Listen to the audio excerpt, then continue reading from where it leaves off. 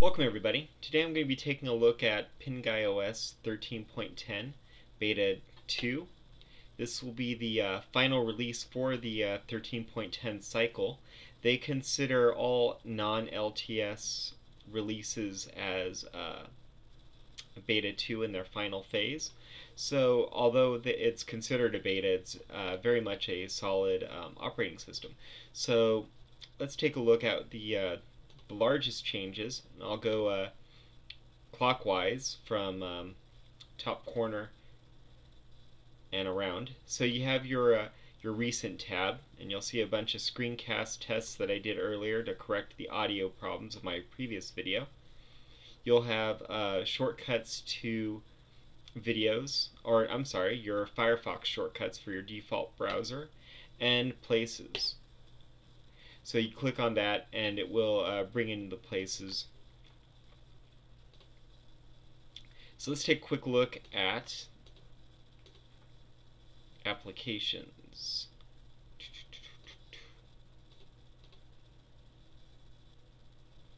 Let me open that again. Whoops. Alright, so I just started using this yesterday, so I'm still getting a feel for the uh, desktop. So you have accessories, uh, Docky, which you see right here. This really nice uh, dock mechanism, which is also used over to the left for folders. Now, this is really nice because it stays open when um, when you're working in it, and you can click out of it rather than a, a hover effect. So that's a nice feature. Maybe that's uh, editable within the preferences. We'll take a look at that later. File Manager, which is Nemo, GEdit, image viewer shutter which is a really cool um, screen grab uh, application. Works really well. Under games you have Steam and Play on Linux. Graphics you have uh, LibreOffice Draw. Image viewer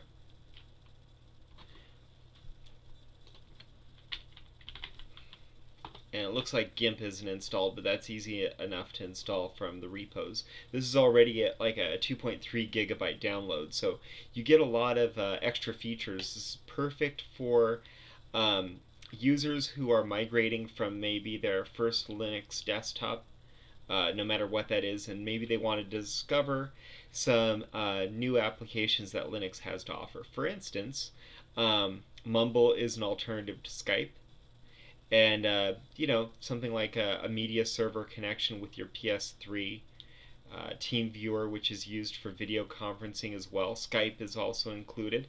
So a lot of user-friendly applications are included with PinguyOS and that's actually part of the philosophy that um, the designers put into this uh, desktop environment and this distribution so they've selected applications based on their ease of use and uh, likelihood that a new user to Linux would uh, easily pick up and understand. VLC, which is great for uh, video playback, playing back uh, YouTube videos, for instance. You could just uh, um, load them directly into VLC if you don't want to watch them in the browser.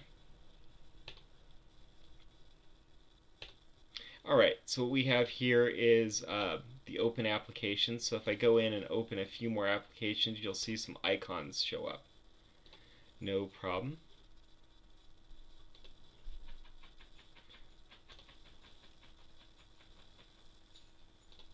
Really kind of cool. Oops. Not all of them will have icons, but some of them will. I'm going to skip that. It's going to be uh, programs that stay open in the background that show up here. So for instance, Shutter, and of course I'm, I'm using a Kazam, which I downloaded from the repositories. So even though I'm closing it, the applications are still live. Uh, workspace switcher, by default you have one and two, and you could always go in there and add some more. Uh, a mail client, this is more of a uh, so Thunderbird is included by default, but you could always add another uh, email browser if you like, or email program. Skype, Empathy for chat, and uh, XChat IRC. I haven't used Friends. I'm not sure uh, how that one works. That's a new application to me.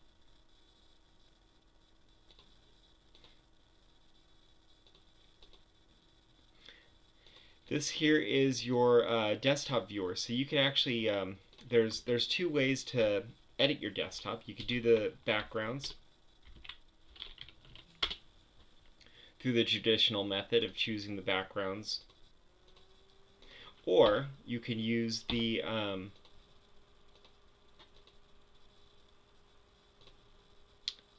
variety uh, variety application and you could set it to change your wallpaper every five minutes and it will actually download from any uh, URLs that are grabbing um, feeds so right now I have it uh, grabbing from a picture a day from NASA and so in the next uh, five minutes or so you'll see some new stuff pop up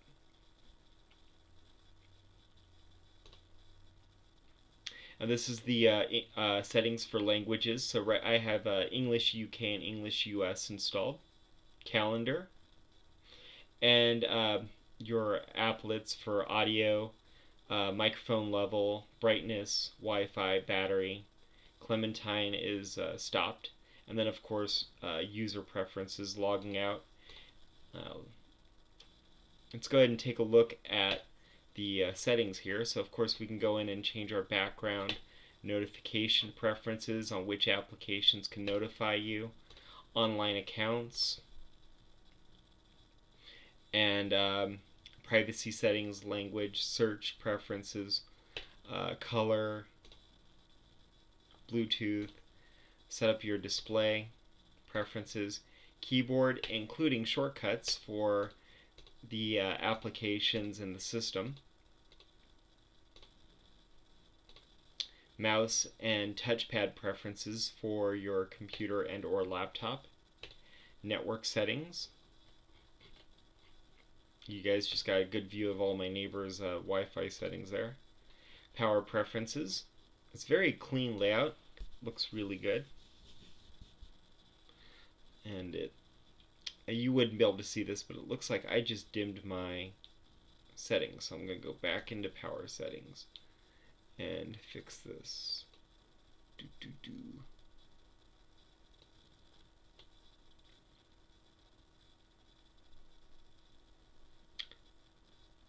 Now this is my, I'm going to assume this M570 is my mouse. Let me take a look at my Logitech uh, trackball here, and I believe that is the model number. If I unplug my external keyboard, oh, I see. Oh, that's neat. Um, I actually had a uh, external keyboard paired with my Logitech device that would tell me um, that would connect to the device. So it looks like um, that's grabbing the stuff from Logitech. That's really cool. Well, that's amazing um, Linux Mint Debian edition would keep thinking that my mouse battery is dead every time it uh, went into sleep mode. Printer settings, uh, sound settings for uh, your microphone and speakers. Deja uh, dupe backup tool. I actually tend to use Clonezilla and just do a, uh, a direct copy of my ISO and so I could reboot it um, from a certain point. So I haven't actually used Deja Dupe, and it's probably a little bit easier because Clonezilla is is another ISO. So here's the uh, GNOME information, uh, GNOME information, and information on my computer. Default applications, I haven't changed any of those.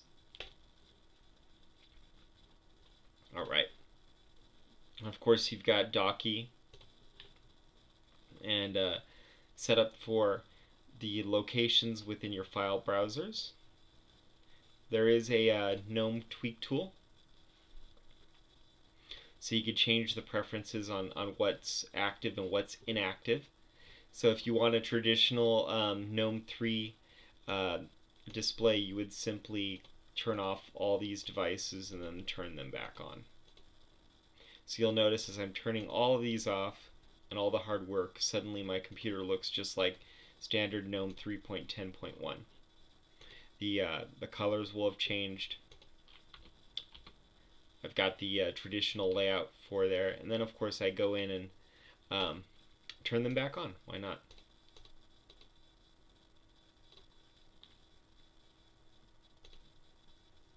Don't need that. Put that one on. These ones that say remo remove are presumably the ones that were included by the uh, developer. Let's see, user themes. Oh, that's cool. That's a user theme. Window list. So you can go through here and make a lot of uh,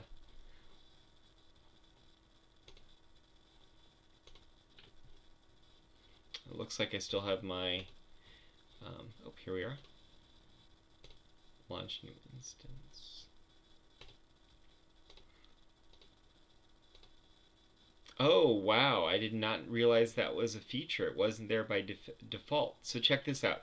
If you're looking for a distribution that has more of a uh, traditional GNOME, oh, that is so cool. I did not see that in yesterday's video.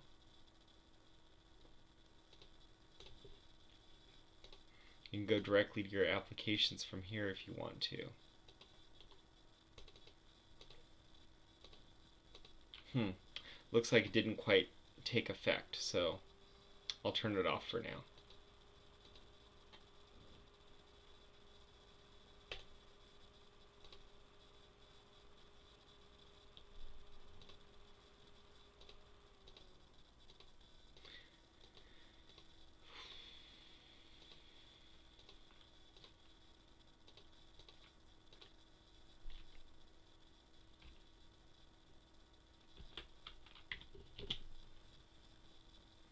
Restart this because it looked like it was acting a little strange. Let me try that again.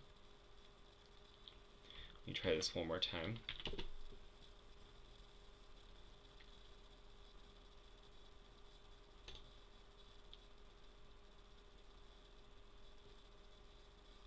Now you could also go in and change fonts. There's plenty of fonts pre-installed. Ton of them. So you could change the interface, the documents, I mean the uh, window tiles, preferences for your mouse and keyboard, power uh, settings, and these are these are all basically overrides from the uh, generic GNOME or default GNOME settings. One thing to point out though, and the developer mentioned this in their news column, is that, oh, that would be because I restarted the desktop. That there is one minor uh, bug where if you um, log out and log in in another GNOME type session, your system default will go back to the default. So make sure to log in as system default um, each time.